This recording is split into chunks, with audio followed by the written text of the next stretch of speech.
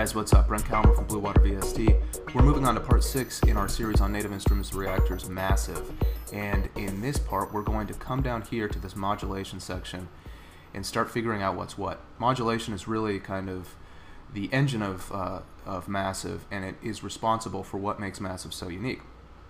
So when we move down here, we see what looks to be a step sequencer with uh, data in it very similar to these sequencer tracks that we have here below. Now these six sequencer tracks all play samples. In the case of the modulation lanes, we only have modulation data that we're storing in the, in those uh, uh, in these sequencer lanes. If you look over here, we have mod 1, 2, and 3. Now these are three independent modulation sources. So you can store different patterns in each one of these in the same way that we discussed earlier uh, in edit modes. You can just draw them in. You can use these uh, edit modes up here to manipulate them. Uh, but basically it means that you have three different options. You actually have four because another modulation source is the step velocity of your various sequencer tracks. We'll get into that later. But uh, very quickly, these, uh, these controls here allow you to loop certain segments of the sequencer and modulation tracks. So the first 16 steps here, the second 16 steps, and then of course all of it. It becomes pretty useful when there's one particular part of uh, the sequence that you want to use and you want that to loop over. It's just kind of a handy shortcut. There's also a half tempo button which allows you to uh, divide the tempo, to slow down the tempo by half, and that's the tempo only of this modulation lane, all of these modulation lanes. So it means that the modulation will move at half the speed uh, of the rest of the ensemble or the rest of the sequencer tracks. But enough talk. Let's start listening to, to uh, what this can do. And to that end, you guys probably can predict what I'm going to do here, which is turn off all but one sequencer track so we can hear exactly what's going on and not be too confused by the other sounds. So here's what we have with no modulation. This is our hi-hat track. It's a very simple hi-hat pattern. And we see here that this is the, the sample that's being played. Each time this, this uh, yellow bar activates a sample, it's this sample here.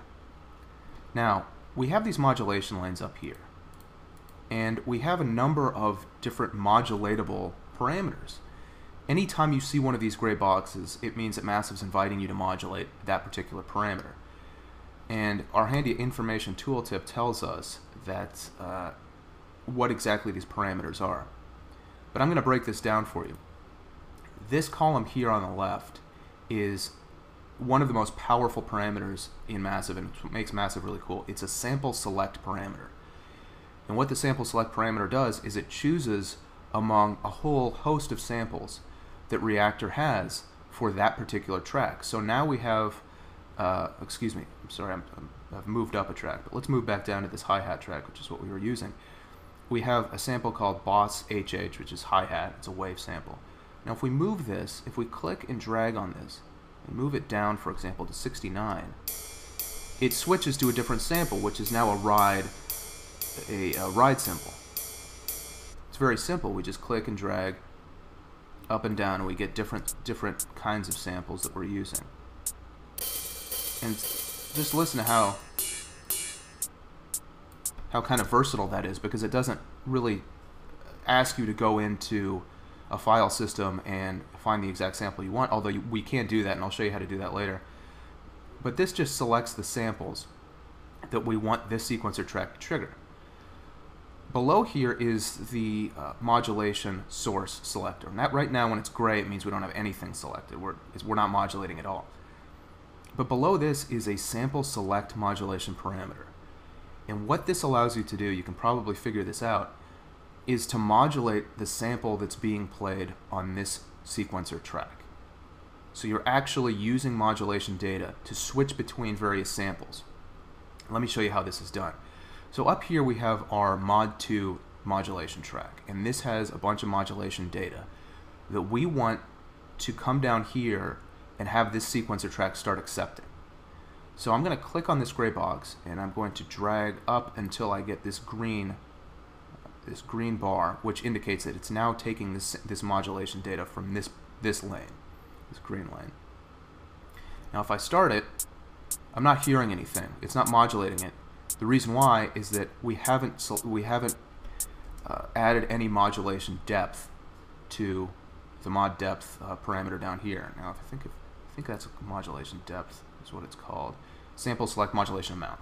Okay, so once we start to raise this, let's raise it up to 12.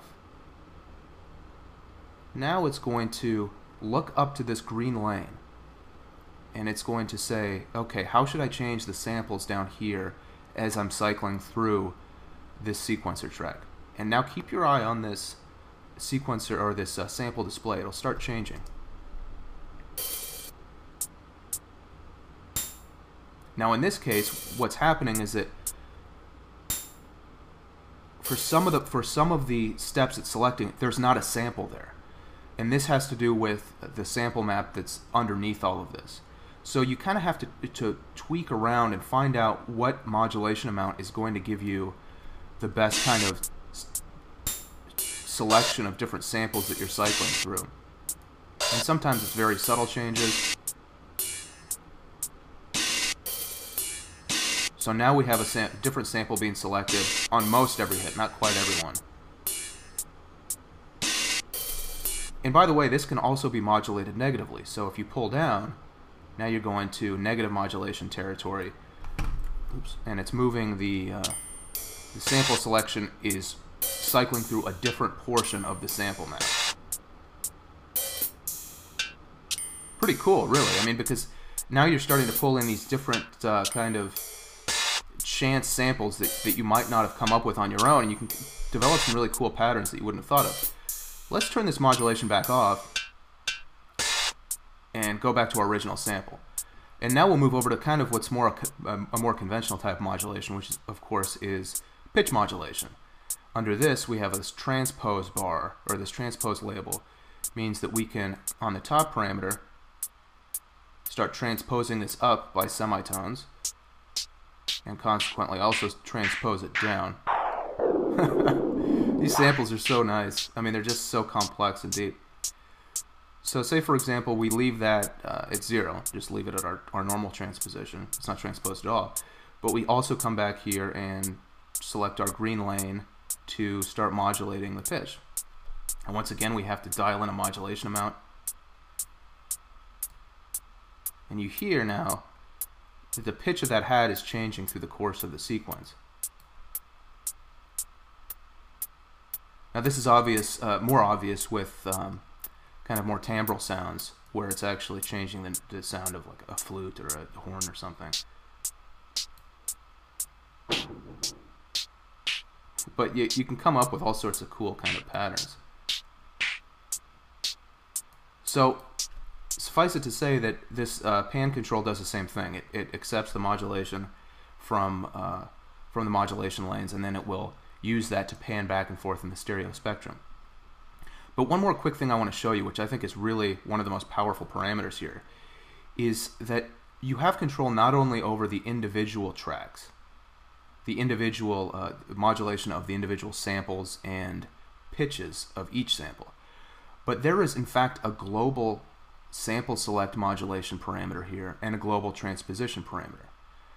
The, what makes this cool is that it basically allows you to create completely different kits dynamically.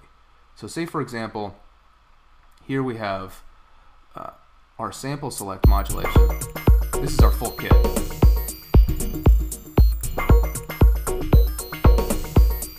But now if we come over here in this global sample select, we do the same thing that we did with this uh, hi-hat parameter down here, the hi-hat uh, sequencer track.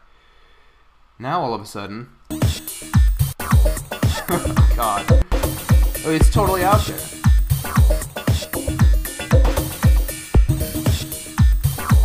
And you notice that it's it's it's cycling through different samples on all of these different sequencer tracks because this modulation data is controlling all of this. And the same goes for the pitch transposition. We can do the same thing, right? So we can really dial it in and just start getting some really out there sounds. And now it's transposing the entire kit. It's almost a funhouse sound.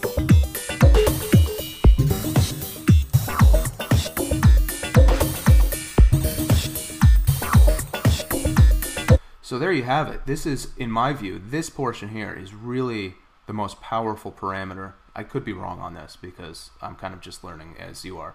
But this is really something that allows you to create interesting out there patterns and switch between them. A good use for this, for example, is to do something that I did in uh, the last of the new school videos, which is set it up in your DAW and just start kind of cycling through and recording different loops.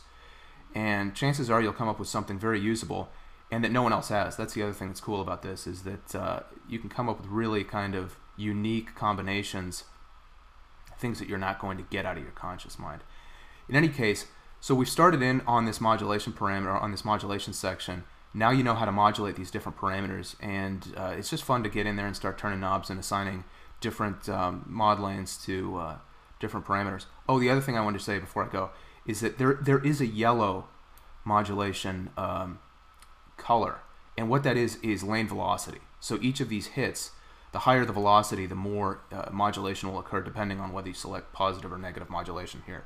I don't know why it took me a while to figure this out. It's obvious, it's pretty obvious, but because I, I didn't see it as modulation lane up here, it kind of confused me. Anyway, I'll be back in touch uh, real soon, and we'll go back through, uh, we'll finish off this modulation section with these parameters over here, and then we'll move down into the sequencer tracks themselves and cover some other little goodies that uh, we haven't gone through yet. So, hope you guys have enjoyed this. Take care, and I'll see you again soon.